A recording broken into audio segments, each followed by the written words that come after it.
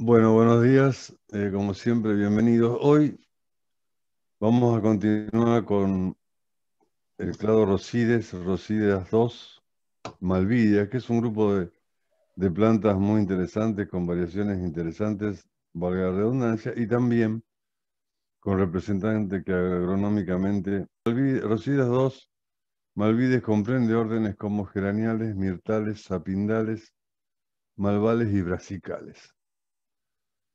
En, la mayoría de estos, menos en geraniales, mirtales, sapindales, malvales y brasicales, tenemos eh, familias con representantes agronómicos importantes, como vamos a ir desglosando.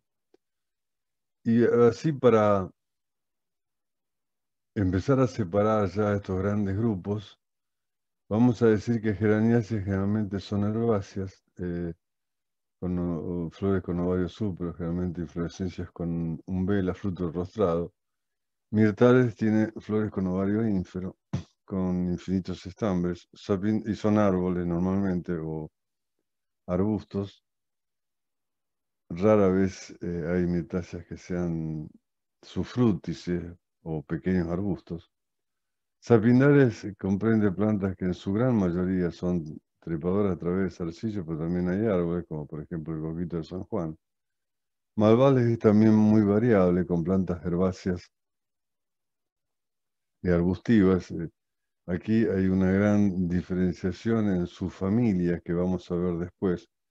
Y Malvales tiene como carácter común siempre el de poseer un número importante de estambres en las flores hermafroditas con un grado de soldadura variable en, todas las subfamilias y en todos los géneros. Por último, brasicales, que es un, orden interesante con familias importantes como las, las brásicas, las brasicáceas, este, que va a ser lo último que, que intervengamos. Como les decía, geraniales comprenden una sola familia, perdón, que son las geraniáceas. Se trata de plantas herbáceas, generalmente de tallos postrados, hojas peltadas, inflorescencias generalmente en umbelas. Y como ven, estamos hablando eh, de la familia botánica del malbón, eh, pelargonium. Eh, tenemos géneros cultivados como pelargonium y, y, geranium. Y también hay algunas geraniáceas que pueden ser malezas del género Erodium, que puede estar eh, o no representadas en nuestros cultivos locales. Como les decía, entonces, eh, tanto las nativas como las cultivadas se caracterizan por tener hojas peltadas en mayor o menor grado hendidas, simples, y el fruto, que es lo que caracteriza el grupo, siempre rostrado, proveniente de un ovario súpero, y ese rostro después, cuando se separan los, los haces vasculares, forma una regma, que es lo que ustedes tienen ilustrado en la parte inferior al lado de la flor. Entonces, ese fruto rostrado es el que, junto con la inflorescencia, es lo que individualiza a Geraniaceae, que como repito, no tiene demasiados representantes eh, agronómicamente interesantes.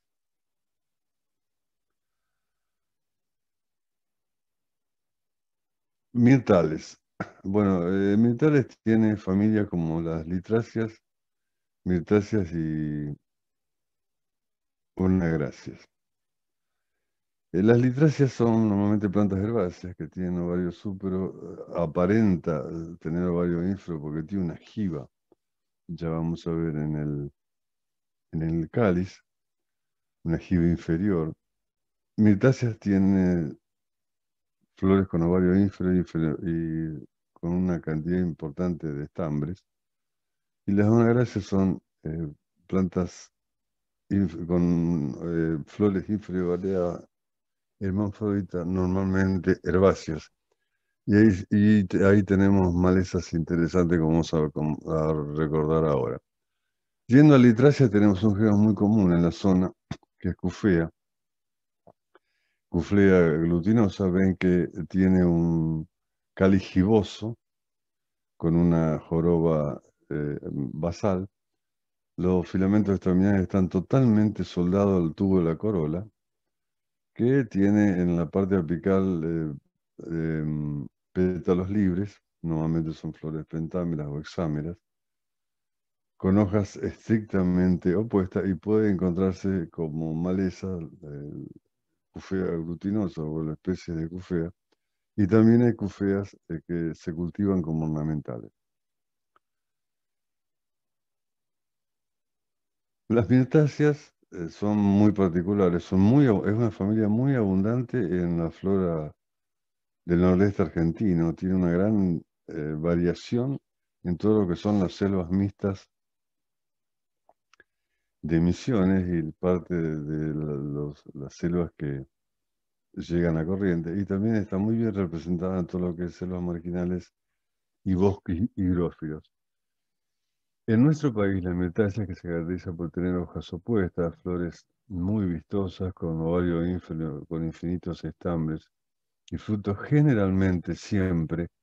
En las mirtáceas el fruto es una valla. En contraposición, las mirtáceas americanas, recuerden, siempre va a tener fruto valla, en contraposición a lo que ocurre con otras mirtáceas del resto del mundo. Ejemplo, eh, las de género eucaliptus, que es lo que se introdujo y se cultiva como forestal, los frutos son cápsulas dehiscentes, o sea, cápsulas septicidas, nunca tienen valla. Eh, nosotros al hablar de mirtácea tenemos varios ejemplos, varios géneros, dije.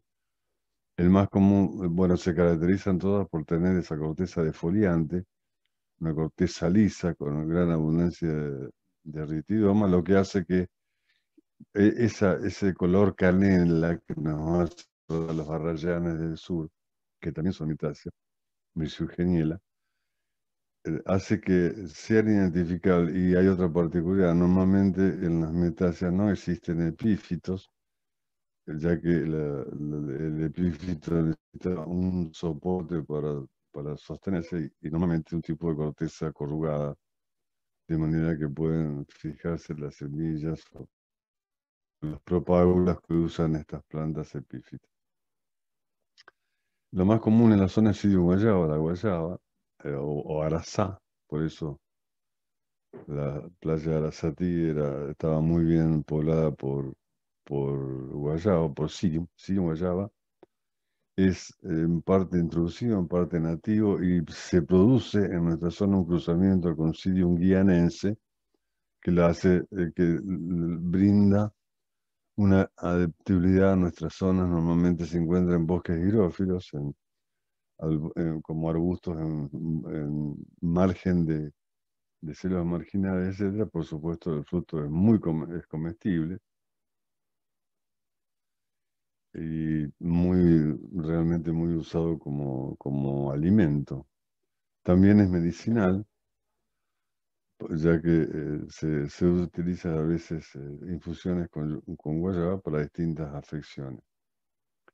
La flor, como repito, es muy vistosa, típica de, de, mm, las mirtáceas. Y además de, guayaba tenemos géneros como Eugenia, Eugenia eh, hexaclamia, o sea, hay una gran cantidad de géneros de arbustos y arbolitos importantes en la flora del noreste argentino. Son mucho más abundantes las mirtáceas en las selvas mirtas de Misiones que en yungas. Bueno, en eucaliptos se han introducido varias especies, no está muy claro cuáles son las especies cultivadas hoy, se habla de rostrata, camandulensis, etcétera, lo van a ver en silvicultura. Hoy es lo que se más se ha cultivado, se cultiva muchísimo eucalipto eh, forestal como poste largo.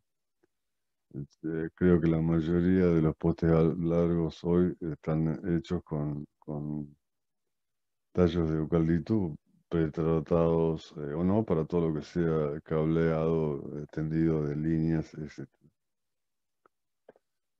Repito, el género eucaliptus es introducido, no existen eucaliptos nativos en nuestra, en nuestra flora. ¿Listo? Bueno, pasamos ahora a onagracias dentro de mirtales, que es una familia importante porque tiene géneros que pueden ser malezas interesantes como ludigia.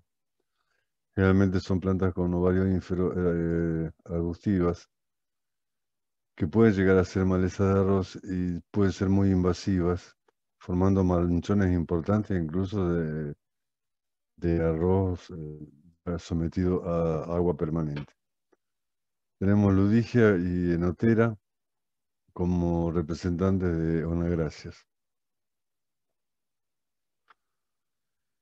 Yendo a sapindales. Sapindales es un orden interesante que tiene familias como anacardiáceas, sapindáceas, rutáceas, sapindáceas y meliáceas.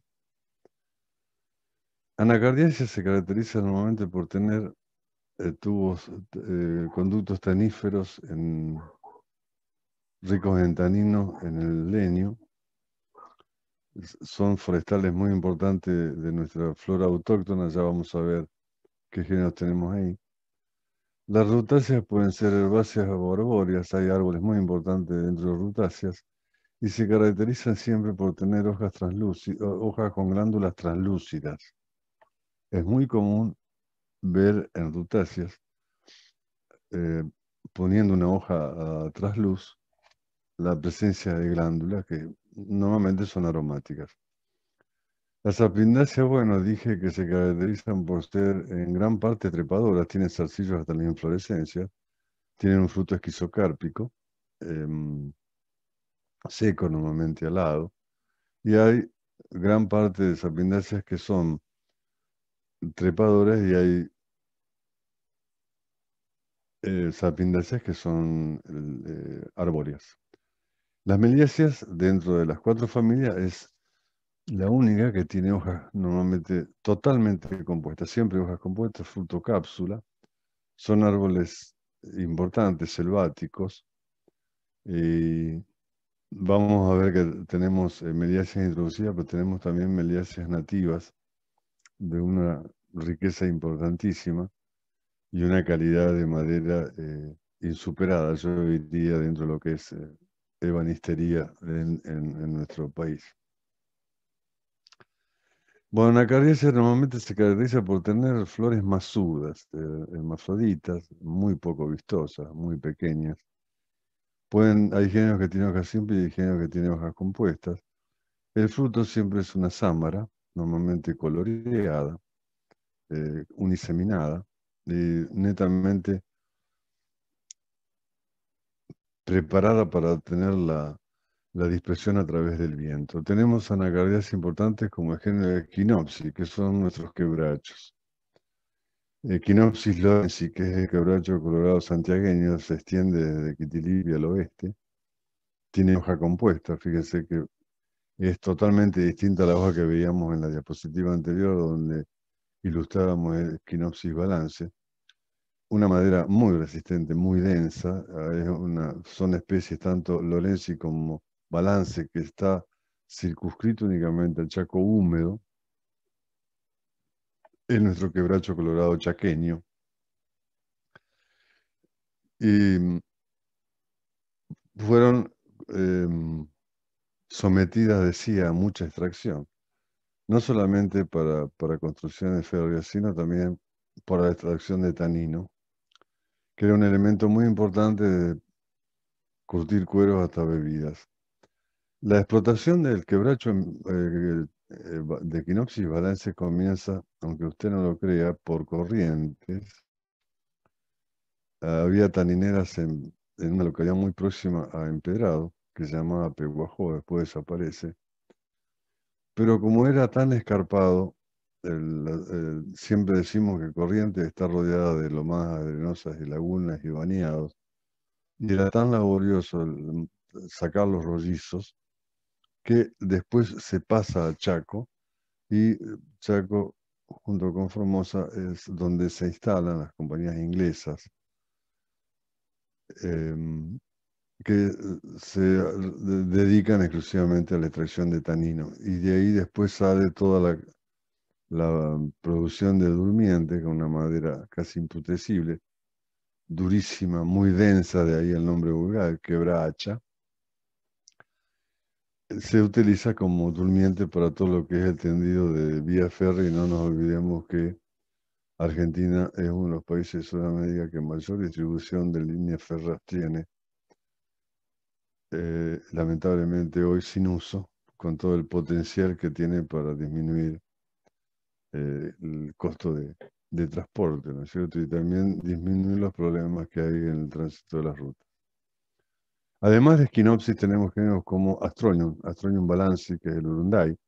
El Urunday se encuentra como componente acompañando a Echinopsis y Copernicia y Prosopis en el Chaco húmedo, pero también forma cuñas interesantes en la transición de las selvas mixtas de Misiones y las salvanas del sur de Misiones, de Santa Ana hacia el sur.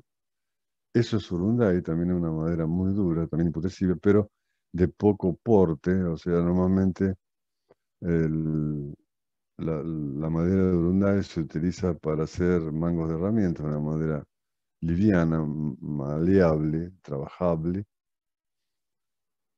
pero no tiene gran desarrollo de, fuste, ¿no es cierto? No, son rollizos maderables de, así como lo es el, como son los quebrachos. También hay otra, otro el orco quebracho también es una equinopsis, equinopsis genkiana, que vive en los bosques áridos del oeste del Chaco, árido en la transición con los bosques pedemontanos de la zona de Salta, Jujuy, Tucumán, etc. Entonces, recordemos cómo son las flores, recordemos la presencia de taninos, recordemos que las hojas son compuestas en balance, en Lorenzi y son simples en balance, y cuáles son los géneros que más están representados las anacardiáceas en nuestra flora nativa. Bueno, las rutáceas, como les dije, generalmente tienen flores vistosas, aromáticas, pentámeras, con androcígenes unidos, a veces dínamos los, los estambres. Se caracteriza entonces por tener hojas simples, a veces aparecen hojas compuestas, y siempre hay entonces em, glándulas translúcidas eh, en las hojas.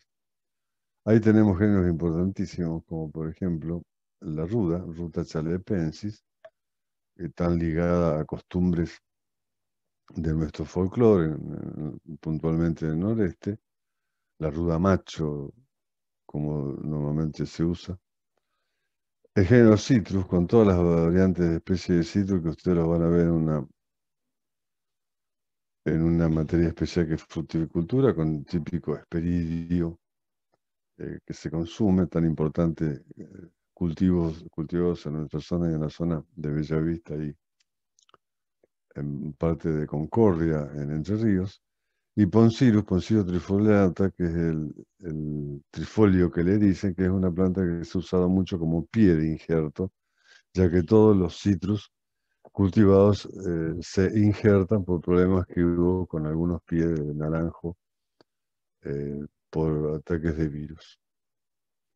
Bueno, entonces tenemos todas las variaciones de citrus, citrus paradisi, citrus limonia, citrus aurantium, Fortunella, que es el, el o, quinoto, que también se consume la fruta y generalmente se usa como cortina en los cultivos de citrus.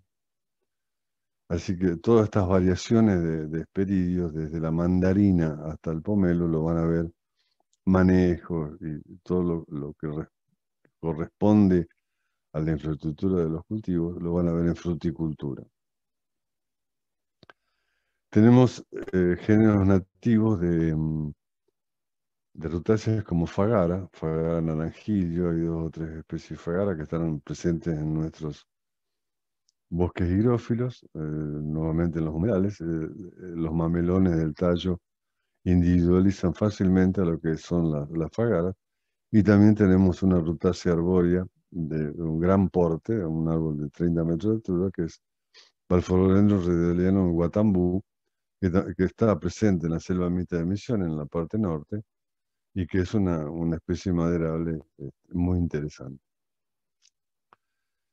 Bueno, Sapinales, eh, yo creo que le, ilustramos la, trepadora más común en la zona, que es el ojito de muñeca, Paulinia lega, dije que tenían hojas compuestas, normalmente muy ricas en zarcillos, hasta en las inflorescencias. Ahí ven las semillas con, con hilo carnoso que emulan ojos. Y el fruto esquizocárpico de, mm, de las sapinas que normalmente eh, tiende a ser eh, alado. No hay demasiadas sapindáceas importantes en nuestra actividad agrícola. Simplemente eh, son plantas que se encuentran en ambientes variados de, nuestra flora. Son importantes las meliáceas. La meliácea se caracteriza por tener siempre hojas compuestas. Son árboles de gran porte. El fruto es una cápsula de dehiscente con semillas aladas. De meliáceas que generalmente son ricas en alcaloides. A meliáceas pertenecen especies introducidas como el paraíso, Melia sedarach, que se difundió, se naturalizó en Argentina, en algunos casos causando problemas. Y es una planta que se introduce en Argentina porque era uno de los únicos árboles que se usaba para sombra y no era consumido por la langosta, por eso se lo, se lo utiliza. De ahí que se obtiene de Melia sedarach la meliacina, que es un alcaloide que se usa como repelente de insectos en las plantas. Entonces, en meliáceas tenemos géneros como cedrela, los cedros, el cedrela lilioi, que es endémico de las yungas, un árbol de un porte muy importante, maderable, que también ha sufrido grandes detracciones, porque tiene una madera muy vistosa, una veta y un color realmente llamativo, muy usado en carpintería, desde puertas hasta muebles, ventanas, etc. Y Cedrela Fisilis, que es el cero misionero, que también vive, que es endémico de las, de las selvas mixtas de Misiones, vive junto a, a, Guatambú, Palo Rosa y el Euterpe, en la parte norte. Es lo que llaman normalmente flor de palo, porque ahí ven las cápsulas opuestas, eh, pendientes, que son los frutos que se han liberado las, las semillas. Fíjense que las hojas son muy, muy particulares dentro de cedrela, que tienen, son casi péndulas. Eh, dentro de la hoja compuesta, los foliolos son normalmente péndulos. Es un carácter que permite identificar los cedros, el cedro misionero. Eh, el carayabola también es una especie de meliácea, un árbol importante que vive en la selva mixta de Misiones, con la típica hoja compuesta y además las características flores de, de también es maderable.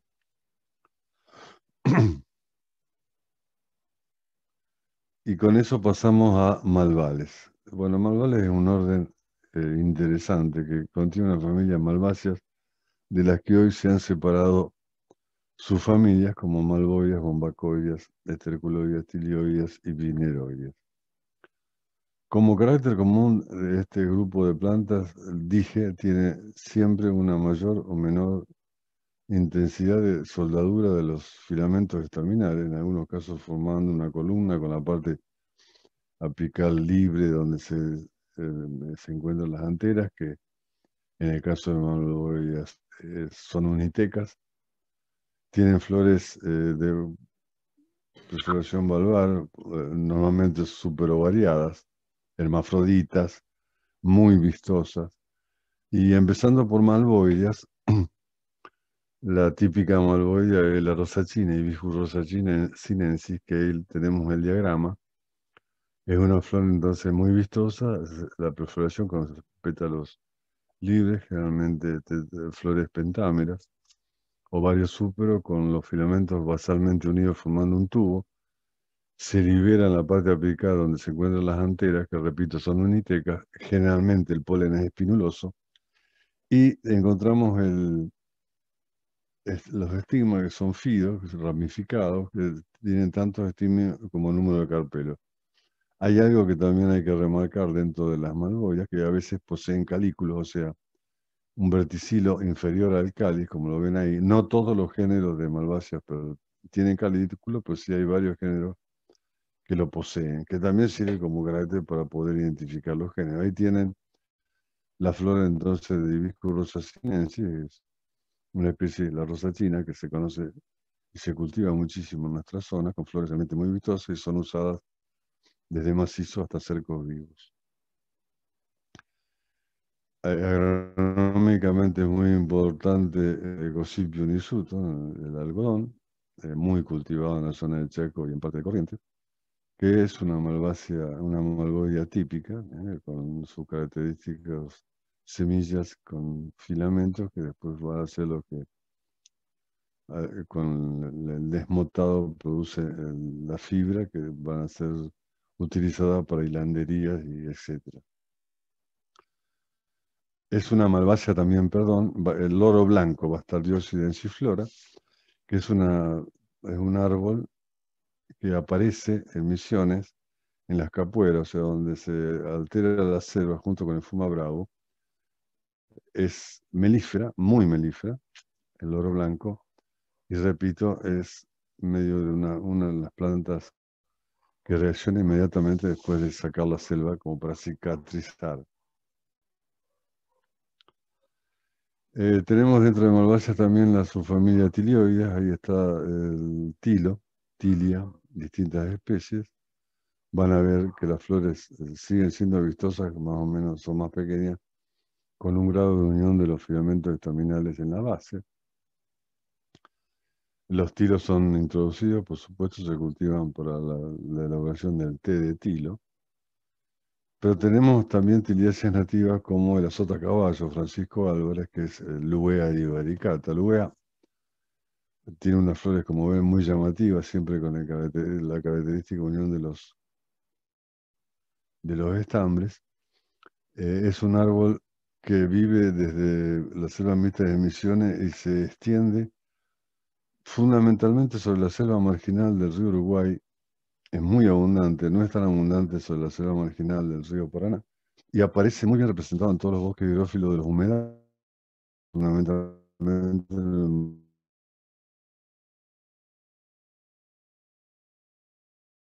de gran porte, una madera liviana muy usado para todo lo que es ebanistería.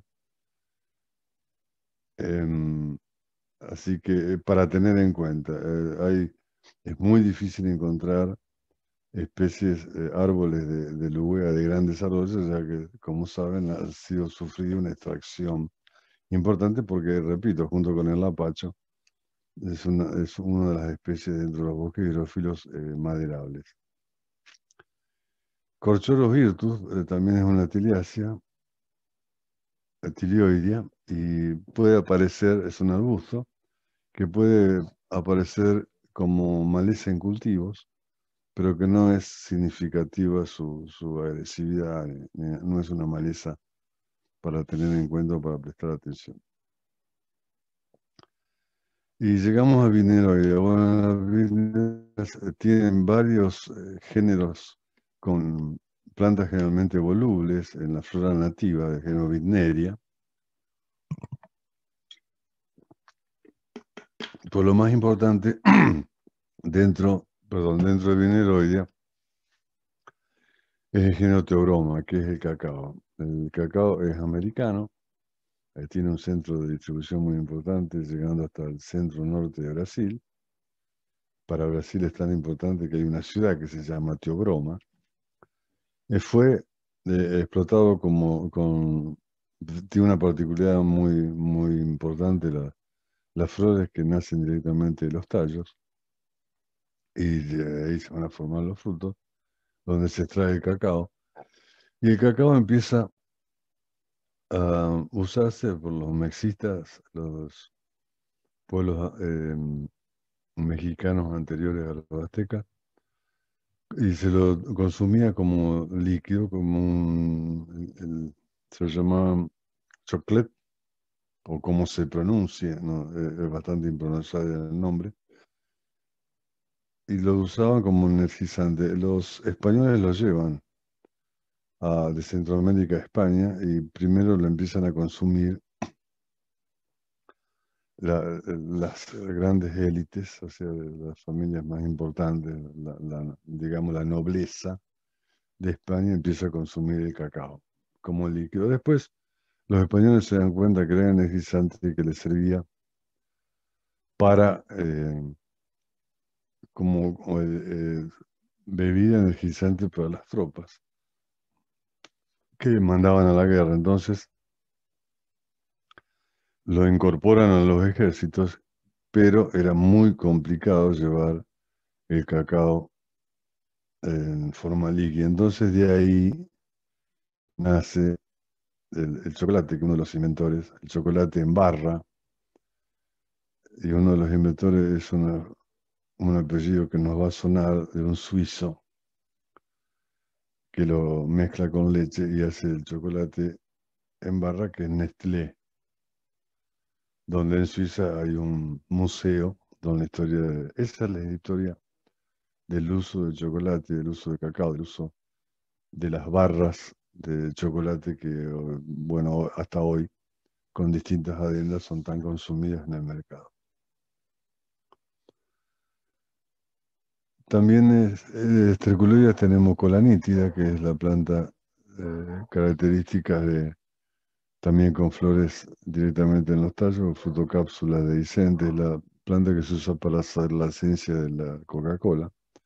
Otro género es esterculia, y en este caso ya las anteras son vitecas, y normalmente las esterculias no tienen polen eh, espinuloso. Bombacoya, ahí tenemos un, género que ha cambiado, eh, ceiba, que antes se llamaba coricia, son los palos borrachos.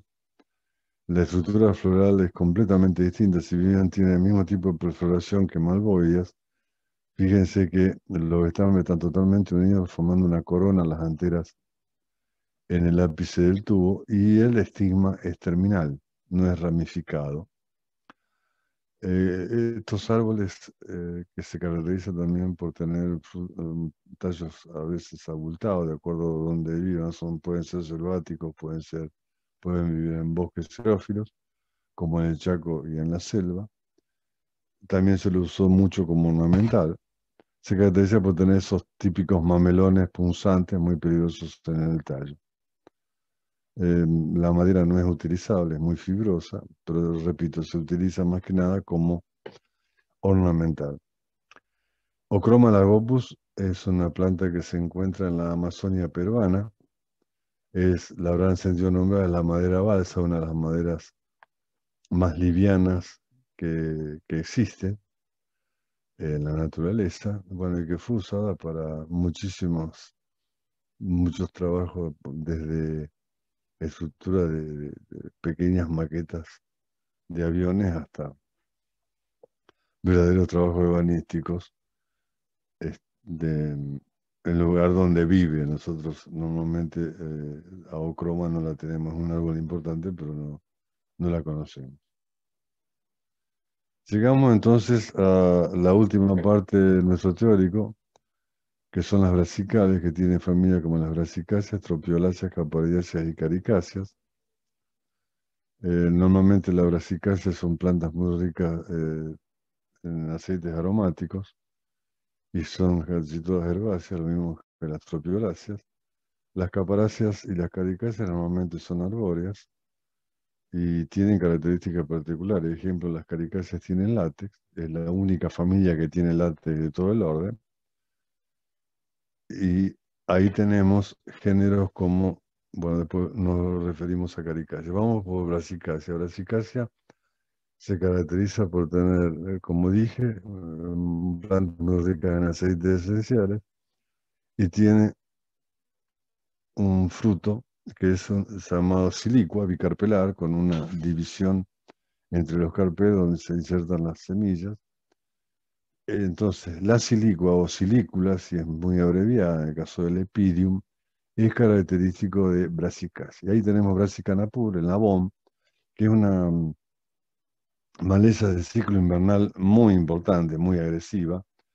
Tenemos todas las coles, desde coles ornamentales como esta hasta las cultivadas, Brassica oleracea, muy sanas en la ingesta eh, eh, humana. Eh, Brassicoleracia varia capitata, que es una inflorescencia, el coliflor. Rafanos sativos, el rabanito. Y tenemos también sinapsis alba, que es la planta de la cual se obtiene la mostaza, o sea, es ese condimento que nosotros tanto usamos en, todo lo que sea cocina. Brassica rapa, también hay una gran variabilidad, le dicen la maleza de flor amarilla, repito, son muy agresivas y normalmente tienen ciclo invernal. Eh, la característica, además de tener fruto silículo o silicula, normalmente son flores tetrámeras con los pétalos totalmente opuestos, eh, tetrámeras con cuatro pétalos totalmente opuestos, lo que en algún momento hizo que se llamen crucíferas. Eh, las caparazas se caracterizan por ser las únicas dentro de todo el grupo de brasicales que tienen ginóforo, o sea, hay una gran proyección receptacular que aloja en un plano superior al ginestrio, ya lo vamos a ver. Tenemos cliome, que le llaman el pasto azul, que se introdujo como ornamental y puede considerarse una maleza, con los típicos ginóforos, como ven en la foto inferior. Y también tenemos varios caparis, son sacha sandía, sacha melón, varias especies de cáparas que son arbustivos viven en, el interior de los bosques xerófilos o bosques hidrófilos y son totalmente tóxicos para el ganado. Ahí tenemos uno de los cáparas, Caparistudiana, donde la parte blanca es el ginóforo que eleva al, al ovario a un plano superior a los estambres. Las flores son bastante llamativas, pero repito, la planta es tóxica y puede ser usado como forraje a veces por los animales en emergencia, ejemplo, inundaciones, pero directamente le causan la muerte del ganado. Bueno, decía, las caricáceas generalmente se caracterizan por ser arbóreas, tienen látex. Eh, ahí tenemos carica, carica papaya, el mamón, que es también americano, un cultivo importante en las zonas tropicales y subtropicales muy consumido, con sus características eh, flores masculinas y flores femeninas, las flores femeninas directamente natas al tallo, inferovariadas, eh, los tallos son poco ramificados, a veces semeja a un estípite, y las flores masculinas se encuentran en grandes panículas o panojas, en otro pie, eh, se cultiva carica papaya por, por, el uso de la fruta, que es una valla, y repito, es muy importante en su cultivo y consumo en la parte tropical y subtropical, incluso en, nuestra zona. Hay géneros nativos de caricáceas como Yacaratia, que vive en, en las selvas mixtas de, Misiones, que le dicen Yacaratia. Y el mamón de monte, eh, que es un arbolito que se encuentra en el interior de bosques hidrófilos, que pertenece a Carica quercifolia, con características similares, hojas hendidas, eh, en distintos pies, lo mismo que, Carica. Ahí están los árboles de, de Yacaratia espinosa, que es la especie que abunda en las selvas de Misiones, en torno a cataratas, y ahí está el fruto que se, emula un mamoncito dentro de, Ahí yo creo que hay frutos de yacarata que se consumen. Por último tenemos las tropioláceas que no tienen importancia agronómica, simplemente son los taquitos de reina, se caracteriza por tener una flores totalmente psicomorfa con una prolongación eh, inferior del, del cáliz. lo más cultivado es Tropiolum majus, los taquitos de reina, y simplemente lo mostramos eh, como rareza, no, tiene ningún interés eh, agronómico. Bueno, con esto entonces terminamos lo que es Rosilia Malvides. Eh, acuérdense de los caracteres homológicos grosos que hemos dado, que nos sirven para separar fácilmente todos estos grupos, que repito, ya empiezan a tener generalmente caracteres de de importancia agronómica cada vez mayores, o sea, ya dejamos los grupos que variaban con respecto a representantes de interés agronómico. Eh, gracias por el silencio. Eh, disculpen la interrupción. Y bueno, quedo a la espera de preguntas si son necesarias algunas.